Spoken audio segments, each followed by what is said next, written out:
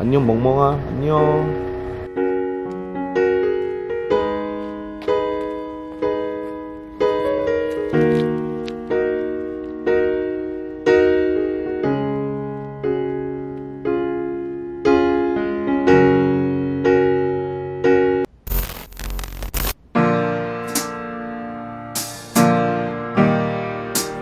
안녕하세요. 요즘오빠입니다. 오늘은 여러분들께 소개시켜 드릴 곳이 있어서 이렇게 영상을 찍게 됐습니다. 함께 따라오시죠.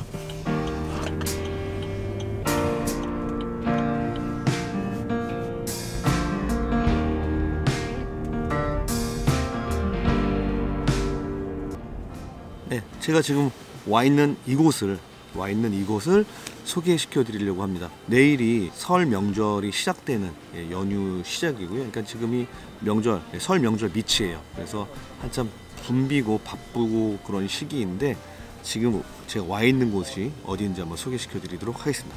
따라오시죠.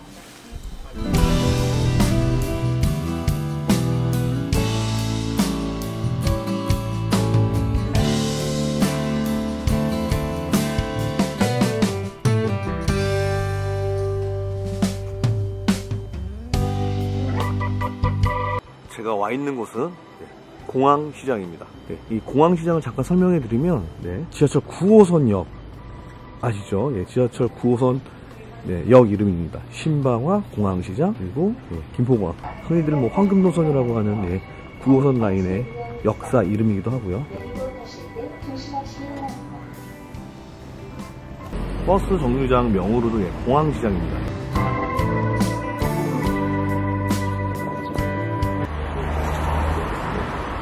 9호선 공항시장역 1번 출구이고요. 바로 뭐 100m도 가지 않습니다. 한 5, 6, 5 60m만 가면 네, 메인 입구로 들어가 있습니다.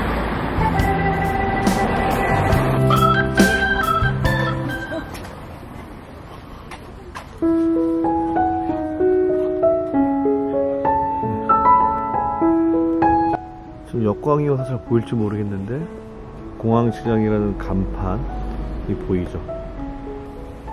가다가 보면 지금 이제 겨울이어서 예, 풀이 다 말라있는데 사람의 왕래가 에, 없었다는 것들. 그리고 가게가 문이 닫힌 상태에서 꽤 오랜 시간 예, 방치됐다는 것들을 알 수가 있어요. 폐 가구들이 이렇게 있습니다 공항시장 예. 메인 골목으로 main street로 한번 들어가고 있습니다.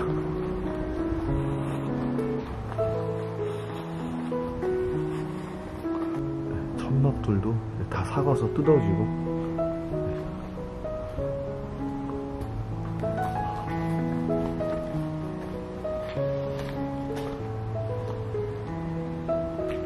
문연 곳이 없어요.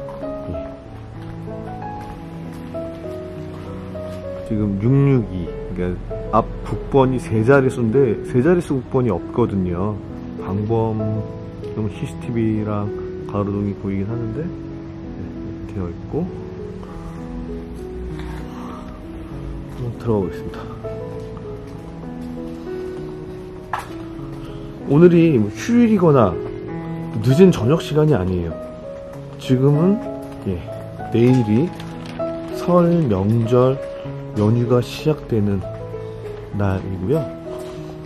저녁 시간이에요. 저녁 시간 한참 장 보는 시간으로 분, 분주한 저녁 시간인데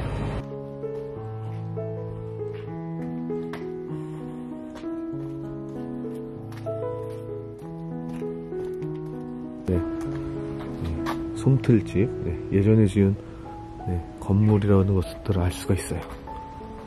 여기가 뭐 시골 네, 어디 뭐 예, 지방 시골이 아니라 바로 예, 서울에 있는 강서구. 이런 거 뭐 사람 하나 들어갈까 말까한 골, 골목인데요. 안녕 멍멍아. 안녕.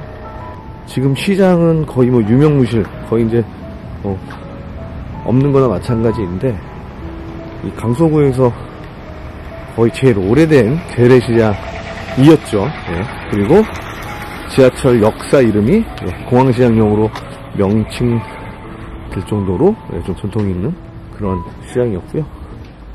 이 건물도 최소 40년 이상, 최소 40년 이상 된 예, 건물이고요.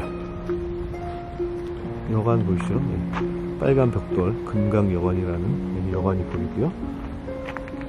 여기서 아, 까 보여드린 지하철 1호선역까지 30초도 안 걸려요. 예.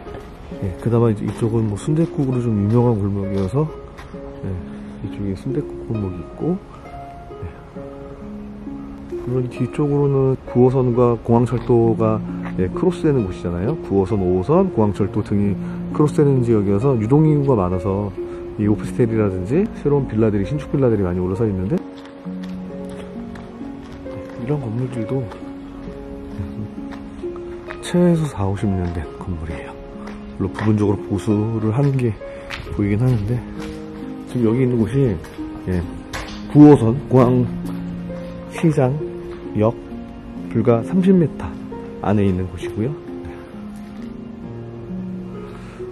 어뭐 이 근방에는 김포공항과 마곡역, 마곡나루 등이 위치하고 있고요. 또 강남 3구만큼은 아니지만 그래도 최근에 뭐 집값이 엄청 오른 이 마곡지구에 불과하고 5분 거리에 위치하고 있는 시장이에요.